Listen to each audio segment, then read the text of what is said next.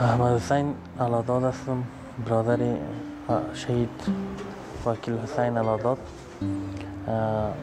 وکیل حسین علاداد در حمله انتحاری دوی سور ناجوان مردانه به شهادت رسید که از حاجی قهرمان وکیل حسین علاداد چهار فرزند به جا مانده که دو تا دختر داره دو پسره.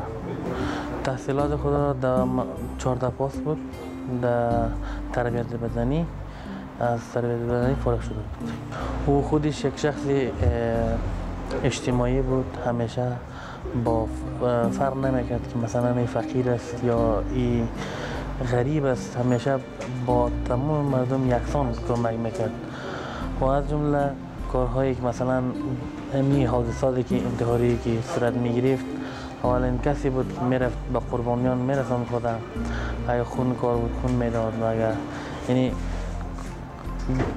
امی حادثه بعد از انفجار همیشه دایم خودم میرساندم. مثلا حادثه دیم زنگ بود دا حادثه مسجد امام زمان بود. مسجد امام زمان خیرخانه تا حادثه مسجد امام زمان دشتی برچی خوب بود. در حادثه که حاج رمضان را در الزهرا زد در اینجا بود. در, در سالگره استاد مزاری که در پیش مسلح شهید مزاری بود در اونجا خود رسانده بود. یعنی کسی بود که همیشه به قربانیان خود میرساند.